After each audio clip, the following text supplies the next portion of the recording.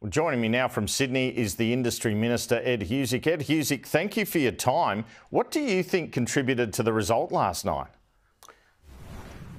Good morning, Andrew. Well, I just first want to congratulate Mary Doyle. I mean, she's gone uh, and now become a record maker by being a huge record breaker. Uh, what has happened here is uh, really important. An Australian government has not won uh, a seat off an opposition in a by election in over 100 years. This is a heartland Liberal seat held by the Liberals for 30 uh, years. Uh, as much as it's historically significant, it's politically significant because uh, you've got a situation here where uh, you know, Anthony Albanese and the Australian government's approach to governing uh, has received a, a, degree of support here in just getting on with the job, acting as a mature government. But this has also been a huge thumbs down to the way of working by the Liberal Party, being problem makers rather than problem solvers. The Liberal Party's addiction to negativity, to saying no, has received a resounding no from their own voters uh, in Aston. And I think that is a big part of the reason uh, why the Liberal Party is currently in such strife. You just can't keep being negative and saying no. You have to contribute uh, to the type of issues that the Australian people want to see fixed. Does this mean the government can increase its margin at the next election? I'd be very careful having watched by elections in times past. You know, you'll see that we we did uh, very well in a whole host of by elections pre the 2019 election. It's not a guarantee of anything, frankly. What it does require is for the Australian government to keep doing what it is, which is governing in a mature way, doing what people expect, being able to deliver practically for the type of concerns that people have. And the Liberal Party needs to take stock of this moment. They can't keep opposing everything for the sake of trying to make themselves look different there's an expectation that the Parliament will get together and work on the problems that are confronting the Australian people. I had to do it uh, working with other parliamentarians on the delivery of the National Reconstruction Fund. Chris Bowen did a terrific job, likewise, in delivering the safeguard mechanism by working with others in the Parliament. The question is will the Liberal Party learn or will they just keep doing the same old uh, approach to Australian politics that they've adopted, which is to be negative and be problem makers, not problem solvers? And what appears to be working for the government is to be, as you said, a calm, sort of deliberative approach, governing from the centre and not fiddling with tax, it seems to me, uh, which is what saw you undone in 2019. Would you agree? I think there is an expectation we'll just get on with the job. Uh, we set a whole host of things that we said were really important in opposition leading into the election. We said if we're elected, we'll get this done, we'll deliver on our promises. Uh, we've had a big focus, not just in my space, of revitalising manufacturing. We've talked about reducing the cost of medicines. We've talked about improving access to childcare. We've talked about uh, fee-free TAFE uh, places. Uh, we've talked about being able to stabilise our relationship uh, with our with, within our region and being able to build support for the type of things that we need to do. For example, if you've seen what we've done on climate change, we said that we'd take meaningful action. We've been doing it. So I just think, and often what I get, Andrew, in the community is just a sense of relief that the adults are in charge, that they're just getting on with the job, not picking fights and dealing with the things that Australian people want uh, action on. Is Peter Dutton the man you want to face at the next election? Well, well, that's going to be a question for the Liberal Party to, to sort out. But my big concern is that the Liberal Party already don't seem to be taking the proper lessons out of the Aston by election. They seem to be blaming the voters rather than taking responsibility for their own actions. You've seen it already with Peter Dutton saying that it's hard for the Liberal Party to win in Victoria. Uh, that is not the big takeout. Blaming the voters is not of Aston is not the takeout here. The Liberal Party need a period of reflection and to think whether or not the approach that they've always had once they've gone in opposition, the Tony Abbott approach to saying no to everything, is the way to go. I think people just want us to, all of us as parliamentarians, just to get on with the job on the things, dealing with the things that the Australian people uh, are thinking is really important to get sorted out. So you've had a win this week, as you said, with this National Reconstruction Fund getting established uh, through that the Senate, the legislation getting through.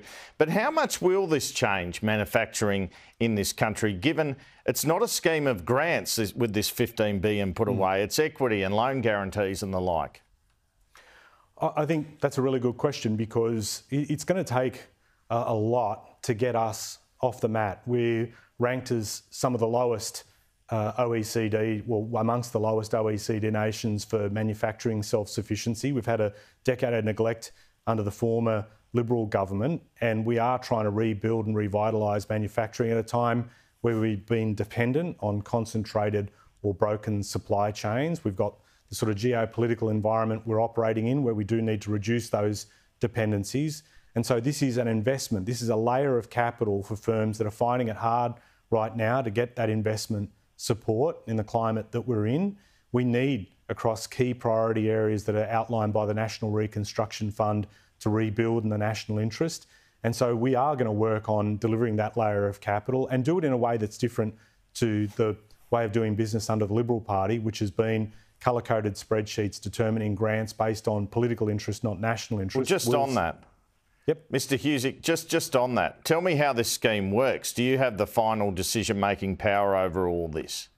I've noticed that criticism levelled at me by the Liberal Party saying that I've got all this power as a minister. Wrong. I mean, they haven't looked at the detail. We deliberately set up this $15 billion National Reconstruction Fund to be managed by an independent board. There will not be colour coded spreadsheets. The board will make decisions about allocating loans, equity guarantees, just like the Clean Energy Financing Corporation has for 10 years plus. Uh, and it will be targeted to priority areas in the economy where we need to revitalise manufacturing. So it's not about me as a minister, it's about an independent board. It's not about political interest, it's about national interest. Okay, on the safeguards mechanism, the government was celebrating that this week, the passage through the Senate. But how can you guarantee this measure will not drive up costs for consumers? Well, I think it's looking at something that the Liberal Party put in place when they were in government to drive down emissions. They had this mechanism in place, but they never cared to actually make it work. We've said we've got to reduce our emissions by 43, you know, get to that 43% by 2030 mark. Uh, this will target those 215 uh, of the heaviest emitters, get them to get on a pathway to reduce uh, reduce their, their emissions and it's not targeted in the way that the Liberal Party Scare campaign uh, suggested of driving up costs, but it's with working with industry. If they do well, they can obviously reduce their emissions, and if they've got trouble in doing so, they can buy credits to help reduce emissions collectively. And it is a really important way in which we can work with industry to get emissions down and also see jobs go up with some of the investments that we're making as a government to help industry achieve that. And does the government give up on the Housing Australia Future Fund now? It Seems that that won't pass the Senate.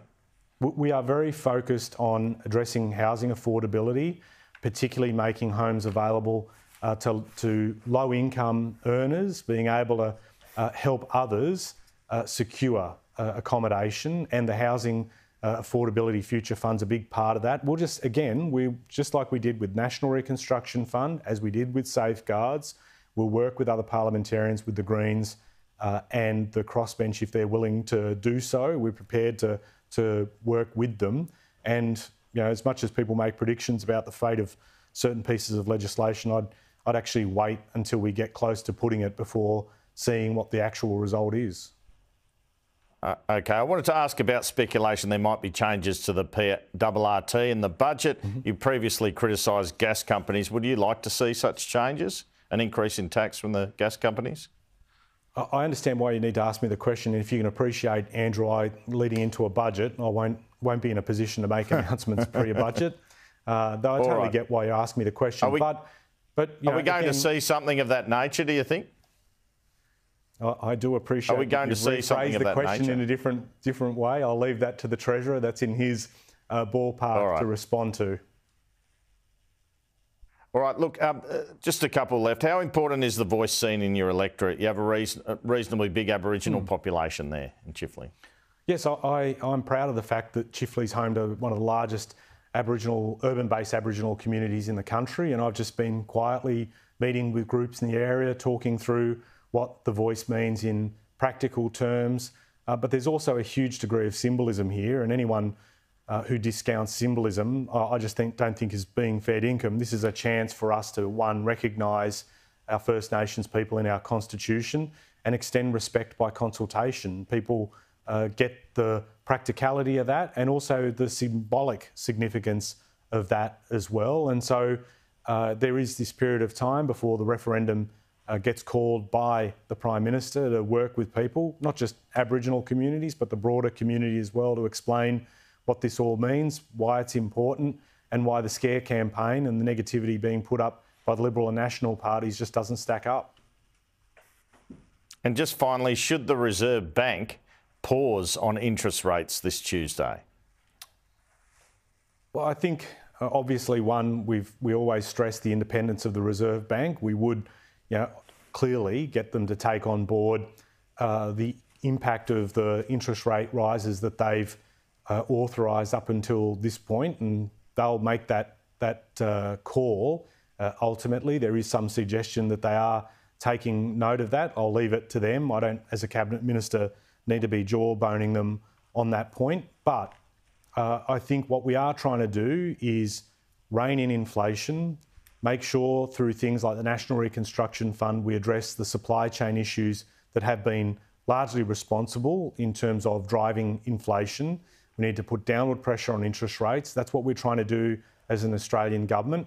And if at any point the Liberal and National parties want to cooperate and work with us on that instead of being negative and saying no all the time, I think that will be a welcome development as well. There is some signs of that. I, I saw some suggestion that the Liberal Party is prepared to work with Treasurer Chalmers on the future of the Reserve uh, Bank and the review that's being done into it. And all I can do is encourage that type of behaviour if it is to uh, to continue. If that is the actual case, let's see more of it. Australian people want mature government. They want parliamentarians working together on the nation's problems. Let's see if that actually happens as a result of the Aston by-election. Mm. Ed Husic, thanks for your time this morning. Good on you, Andrew.